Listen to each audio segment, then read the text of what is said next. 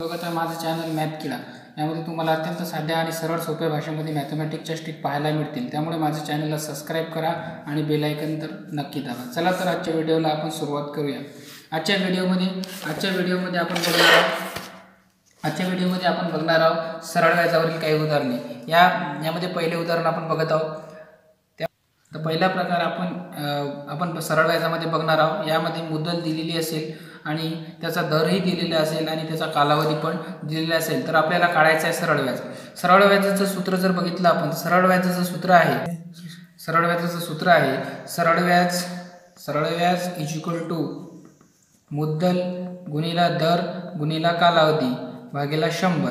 त्या प्रश्नामध्ये आपल्याला विचारलेलं आहे तीन हजार दोनशे पंच्याहत्तर रुपये मुदलाचे दर साल दर शेकडा पाच टक्के दराने तीन वर्षाचे सरळ सरळ व्याज किती? तर आपल्याला या उदाहरणामध्ये फक्त सरळ व्याजाच्या सूत्रामध्ये जे दिलेले रक्कम आहे त्या टाकायच्या आहे. सरळ व्याज दिलेलं नसल्यामुळे आपण सरळ व्याज जसं आहे तसं लिहून घेतलं. सरळ व्याज इज इक्वल टू मुद्दल दिलेली आहे तीन हजार दोनशे पंच्याहत्तर आणि त्याचा दर दिलेला आहे पाच टक्के त्यामुळे दर आपण खाली लिहिला पाच टक्के आणि त्याचा कालावधी दिलेला तीन वर्षाचा. त्यामुळे आपण तीन वर्ष लिहिले आणि भागेला शंभर. आता याला याला आपल्याला सोडवावं लागेल. सरळ व्याज बरोबर सरळ व्याज बरोबर तीन हजार दोनशे पंच्याहत्तर गुणेला पाच गुणेला तीन भागेला शंभर. आणि शंभरने भाग दिला.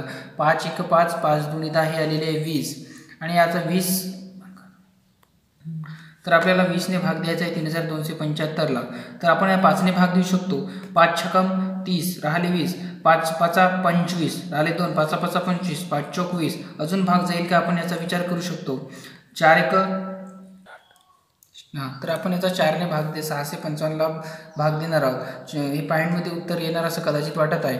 सहाशे पंचावन्नला जर आपण चारने भाग दिला चार एके चार सातून चार गेले दोन चार छकम चोवीस एक चार चार चार दोन आठ चार त्रिक बारा हे राहिले तीन चार सात अठ्ठावीस हे दोन चार पंच वीस. हे किती आले एकशे त्रेसष्ट पॉईंट पंच्याहत्तर.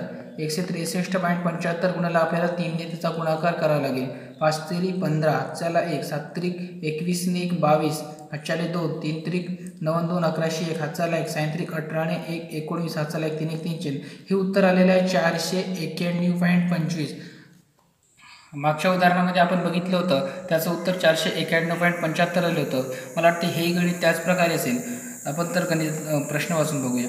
एकोणीसशे रकमेचे दर साल दर शेकडा सहा टक्के दराने दोन वर्षाचे व्याज किती? अगदी त्याचप्रमाणे हा सुद्धा प्रश्न विचारलेला आहे. त्याच ट्रिकनुसार आपण हा सुद्धा प्रश्नाचे उत्तर काढू शकतो अगदी काही सेकंदात.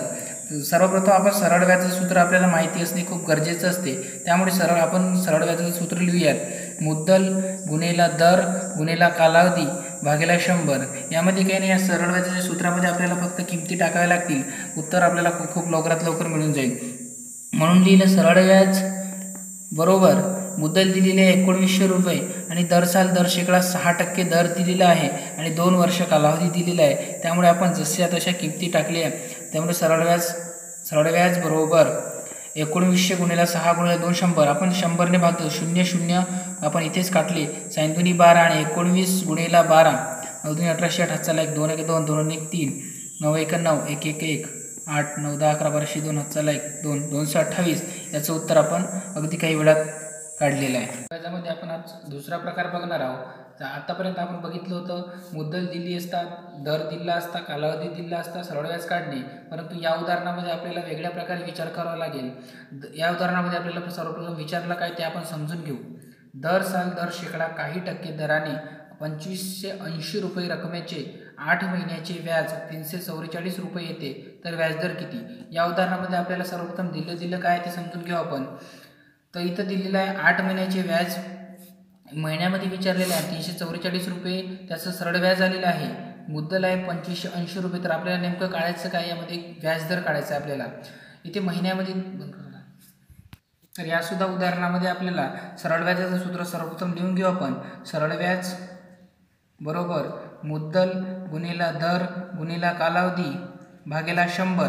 यामध्ये या उदाहरणामध्ये विचारलेलं आहे आठ महिने. महिन्यामध्ये विचारलेलं असतं आपल्याला बारा महिन्याचा विचार करावा लाग लागेल. कारण इथे महिन्यामध्ये विचारलेलं आहे मागच्या गणितामध्ये आपल्याला डायरेक्ट वर्षामध्ये विचारलं होतं म्हणून मागेला शंभर घेतलं.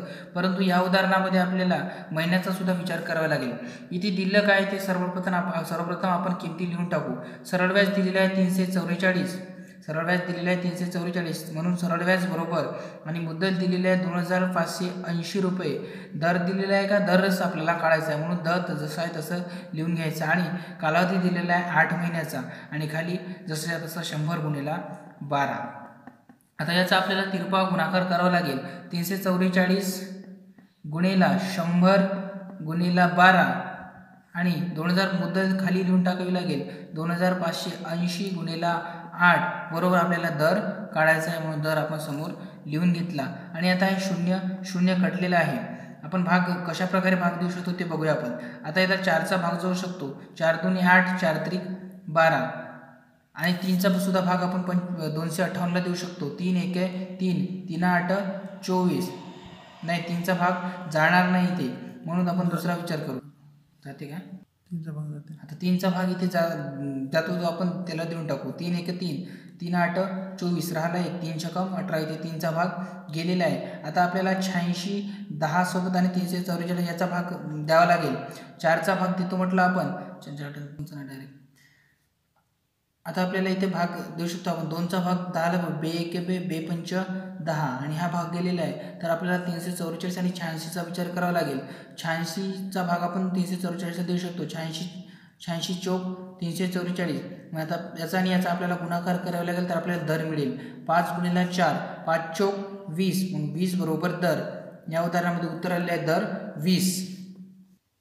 आता यामध्ये या उदाहरणामध्ये आपल्याला पाहायचं आहे.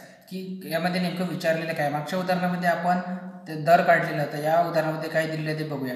अठ्ठावीसशे रुपये रकमेचे दर साल दर शेकडा तीन टक्के दराने काही महिन्याचे व्याज एकशे चौपन्न येते. तर मुदत किती? या उदाहरणामध्ये आपल्याला मुदत विचारलेली आहे. सर्वप्रथम आपण उदाहरण समजून घेतल्याशिवाय कोणत्याही उदाहरणाचं आपल्याला उत्तर काढता येणार नाही. कारण तर मागच्या उदाहरणामध्ये आपल्याला दर विचारला होता आणि या उदाहरणामध्ये आपल्याला मुदत करायची आहे. त्यामुळे आपण सरळ व्याजाचं सूत्र बदलणार नाही. सरळ व्याजाचं ते सूत्र वापरण्यात वापरावं. सरळ व्याज बरोबर मुद्दल गुन्हेला दर गुन्हेला कालावधी भागेला शंभर. यामध्ये सुद्धा आपल्याला महिन्यांमध्ये विचारलेलं असल्यामुळे महिन्यांच्या आपण बारा महिन्याचा विचार करावा लागेल. जर वर्षात सरळ सरळ विचारलं असतं तर आपण महिन्याचा विचार केला नसता. आणि जर दिवसामध्ये विचारलं एखाद्या उदाहरणामध्ये तर आपल्याला तीनशे पासष्ट घ्यावं लागेल. हे सुद्धा तुम्ही विद्यार्थी मित्रांनो लक्षात ठेवावे तर यामध्ये आपल्याला महिन्याचा विचार करून आपण सर सरळ व्याजाचं सूत्र लिहिलेलं आहे. त्यामुळे सरळ व्याज किती? काही महिन्याचे व्याज एकशे चौपन्न येते. त्यामुळे सरळ व्याज इथे एकशे चौपन्न दिलेले आहे ते आपण जशी तशी किंमत दिलेली आहे. मुद्दल इथे लिहिलेली आहे का? मुद्दल दिलेली आहे. मुद्दल अठ्ठावीसशे रुपये दिलेली आहे ते आपण जशी तशी लिहिली. आणि इथे दर तीन टक्के दिलेले आहेत. काढायचं काय आपल्याला कालावधी काढायचं आहे म्हणून आपण क जसं तसं लिहून टाकलं. आणि भागेला शंभर गुन्हेला बारा महिने. म्हणजेच काही महिन्यांचे असल्यामुळे आपल्याला सुद्धा इथं बारा महिन्याचा विचार करावा लागेल. आपण आता याचं उत्तर काढत असताना आपल्याला तिरपा गुणाकार करावा लागेल. एकशे चौपन्न गुन्हेला शंभर गुन्हेला बारा आणि मुद्दल अठ्ठावीसशे गुणेला तीन टक्के दर. बरोबर आपल्याला कालावधी काढायचा असल्यामुळे आपण कालावधी जशा तसं समोर लिहून घेतलं. तर आपल्याला बघायचं आहे आता कशाने कशाला भाग जाते. दोन शून्य तर इथे कटलेलेच आहे. तीन एक तीन तीन चौक बारा. चारने सुद्धा अठ्ठावीसला भाग जाऊ शकतो. चार सात अठ्ठावीस. सात एक सात सात दुनी चौदा. आणि एक इथे एक राहिलेला आहे. पुन्हा सात दुनी चौदा. म्हणजे अशा प्रकारे आपण सातने सुद्धा एकशे चौपन्नला भाग दिलेला आहे. आणि याचा मुदत किती आलेली आहे? तर बावीस महिने मुदत आलेली आहे. म्हणून याचं उत्तर सुद्धा बावीस महिने. नमस्कार मित्रांनो. तुम्ही बघत आहात माझं चॅनल मॅथ किडा मॅथ किडा या चॅनलमध्ये तुम्हाला नवीन नवीन गणिताच्या स्ट्रिक पाहायला मिळतील. आणि अत्यंत साध्या सोप्या सरळ भाषेमध्ये आणि नवीन नवीन गणिताचे स्ट्रिक माझ्या चॅनलमध्ये तुम्हाला पाहायला मिळतील. तर माझे चॅनल सबस्क्राईब करा आणि बेल आयकन नक्की दाबा. चला तर मग आज आपण आजच्या व्हिडिओला सुरुवात करूया. मॅथमॅटिक्समध्ये आपण आज बघणार आहोत. सरळ व्याज. सरळ व्याज सरळ व्याजमध्ये म्हणजे खूप साध्या आणि सर पण कर. सरळ व्याज या याच्यामध्ये आपण अत्यंत साध्या आणि सोप्या स्ट्रिक पाहणार आहोत. चला तर पाहूया पाहूया आपण पहिला प्रश्न. इथे काय म्हटलेलं आहे? दर साल दर शेकडा पंधरा टक्के दराने एका रकमेचे चार वर्षाचे व्याज नऊशे रुपये येते तर ती रक्कम कोणती? यामध्ये आपण या गणिताला अशा प्रकारे सोडवू शकतो. यामध्ये विचारलेलं आहे आपल्याला दर साल दर शेकडा पंधरा टक्क्याने सरळ व्याजाचं सूत्र काय आहे? सरळ व्याज इजिकल टू आपण मराठीमध्ये म मुदल गुणिला दर गुणिला कालावधी भागेला शंभर. अशा प्रकारे करू शकतो. किंवा आपण त्या त्याला स पी गुन्हेला आर गुन्हेला टी छेद शंभर असे सुद्धा म्हणू शकतो. यामध्ये आपल्याला विचारलेलं आहे दर साल दर पंधरा टक्के दराने एका रकमेचे चार वर्षाचे व्याज नऊशे रुपये निव्वळ व्याज सरळ व्याज नऊशे रुपये येत आहे. म्हणून नऊशे सरळ व्याज नऊशे बरोबर मुदत दिलेली नाही. मुद्दत दिलेली नाही म्हणून त्याला म असेच ठेवायचे. आणि त्याचा दर दिलेला आहे पंधरा टक्के आणि कालावधी दिलेली आहे चार वर्षाची. आणि आपण नियमानुसार शंभर भागीला घेतच असतो. त्यामुळे याच्या याच्यामध्ये आपल्याला आता तिरपा गुणाकार करावा लागेल. नऊशे गुणेला शंभर भागेला. मुद्दल आपल्याला विचारले म्हणून ते आपण एक एका साईडला ठेवून दिलेली आहे. मग त्याचा दर आहे पंधरा गुणेला चार. आणि याचा आपण भागाकार करूयात आता. पंधरा याचा बंद करतो आता याचा आपण आता भागाकार करूया. पंधरा सका नव्वद पंधरा शून्य शून्य याचा आलेला आहे साठ आणि चारा पंचवीस शंभर. आता साठ आणि पंचवीसचा आपण गुणाकार करूयात. साठ आणि पंचवीसचा गुणाकार पाच शून्य शून्य सहा पंच तीस दोन शून्य सांगतोनी बारा. पंधराशे आलेले आहे. म्हणून याची रक्कम आहे आपली पंधराशे. आत्ताच्या उदाहरणामध्ये आपण बघितलेलं आहे पंधरा टक्के दर होता आणि चार वर्ष त्याचा वेळ कालावधी होता आणि नऊशे रुपये त्याचा व्याज होता त्याचं उत्तर पंधराशे रुपये मुद्दल आलेली आहे. अशाच प्रकारचं आपण दुसरे गणित बघत आहोत. त्यामध्ये विचारलेलं आहे दर साल दर शेकडा एकवीस टक्के दराने एका रकमेचे दोन वर्षाचे व्याज आठशे चाळीस रुपये मिळाले तर ती रक्कम कोणती? हे सुद्धा गणित तशाच प्रकारचं इथं दिलेलं आहे. आणि अगदी पहिले गणित जसं सोडवलं होतं आपण अगदी त्याच प्रकारे ह्या सुद्धा गणिताला आपण सोडवू शकतो. यामध्ये सरळ व्याज आठशे चाळीस रुपये दिलेले आहे आणि त्याचा दर एकवीस टक्के मुद्दल दिलेली नसल्यामुळे मुद्दल आपण लिहून घेतली आणि त्याचा दर एकवीस टक्के दिलेला आहे व कालावधी दोन वर्षाचा दिलेला आहे. त्यामुळे आपण नियमानुसार शंभर भागेला घेतलेला आहे. आणि यामध्ये सुद्धा तिरपा गुणाकार करून आठशे चाळीस गुणेला शंभर भागेला एकवीस गुणेला दोन बरोबर मुद्दल. आपल्याला मुद्दल काढायचे असल्यामुळे आपण मुद्दल याला साईडला ठेवलेला आहे. दोनने आपण भाग दिला बेचोक आठ बेदुणी चार हे आलेले आहे चारशे वीस. एकवीस दुणी आणि याचासुद्धा आपण भाग देऊ शकतो. एकवीस दुणे बेचाळीस एकवीस शून्य शून्य. त्यामुळे वीस आणि शंभरचा गुणाकार करायचा आपल्याला. वीसवर वीस गुणेला शंभर बरोबर दोन हजार. अशा प्रकारे या गणिताचं उत्तर दोन हजार आलेलं आहे.